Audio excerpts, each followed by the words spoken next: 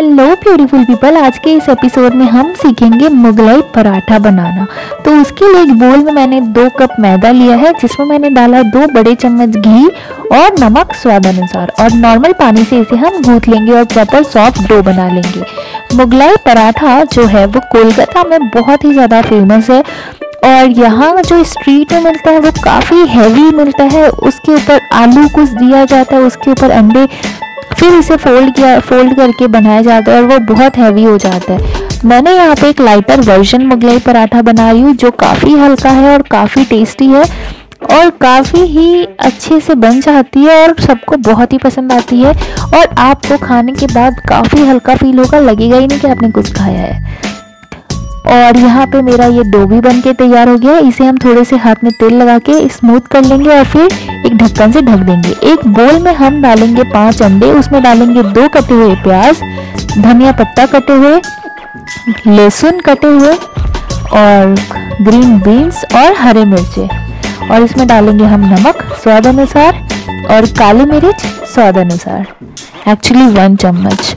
और फिर इसे इस तरीके से फेंट लेंगे, बहुत ही अच्छी तरीके से।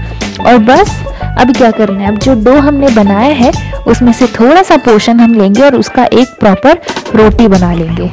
अगर वो गोल नहीं भी बनता है तो कोई प्रॉब्लम नहीं है, क्योंकि हम गोल नहीं चाहिए, हम इसे फोल्ड कर देंगे। तो इस तरीके से इसे करने के बाद, इसके बीच में हम अंडा रखेंगे, जो हमने अंडे के घोल बनाए हैं। और ज़्यादा नहीं, बस दो चम्मच, उससे ज़्यादा अगर आप रखेंगे तो ये बन नहीं पाएगा। अब इसे इस तरीके से फोल्ड कर देंगे, बिल्कुल इसी तरीके से और इसे अच्छे से प्रेस कर देंगे कुछ इस तरीके से। मैंने तेल ऑलरेडी गर्म करने के लिए रख दिया था, इसमें हम इसे डीप फ्राई कर लेंगे दोनों तरफ़ से अच्छे से लाल हो जाए और मीडियम आँच पे इसे फ्राई करेंगे ताकि अंदर में कच्चा ना रहे। और इसे चक्कू की मदद से इस तरीके से काट लेंगे और फिर गर्मा गर्म सर्व कर देंगे। आप देख सकते हैं, अंडे कितने अच्छे से फूल गए अंदर और ये बहुत अच्छे से हो गया चटनी के साथ इसे हम सर्व करेंगे कुछ इस तरीके से। हमारा टेस्टी डिलीशियस मुगलाई का पराठा बन के बिल्कुल ही तैयार है। प्लीज़ गाइज़ इसे ज़रूर ट्राई करें और इसे ज़रूर बनाएँ। ये बहुत ही टेस्टी बने हैं और बहुत ही ज़्यादा डिलीशियस है। अगर आपको मेरा रेसिपी अच्छा लगा तो मेरे चैनल को सब्सक्राइब करें लाइक करें और मेरे इस चैनल की लिंक को ज़रूर से ज़रूर शेयर करें।